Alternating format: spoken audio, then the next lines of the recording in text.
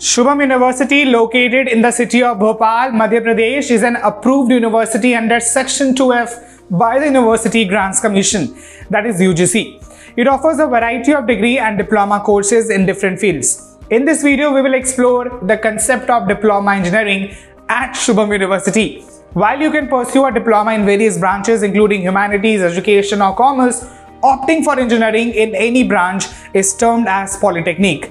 Today, we will discuss what diploma engineering entails, aiming to provide a comprehensive understanding of the program. Diploma engineering, also referred to as polytechnic, and it is a three-year course requiring a 10th grade qualification for admission. Students who have completed 10 plus 2 in PCM or ITI can directly join the second year.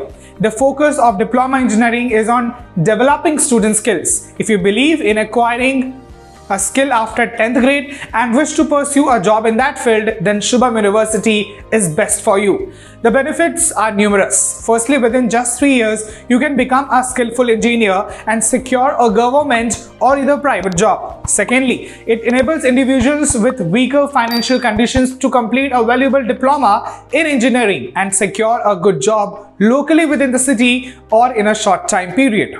Diploma engineering offers branches such as computer science, electrical, mechanical, electronics and communications and civil engineering. Students need to decide based on their interest and desired skills development. After completing diploma engineering, students can also pursue a BTech degree. They can directly get admission to the second year of BTech, allowing them to complete their engineering degree in just three years. Diploma engineering not only shapes the students into skillful engineer, but also enhances their knowledge and capacity. This program opens up numerous opportunities in various industries where students can succeed with the skills and knowledge gained.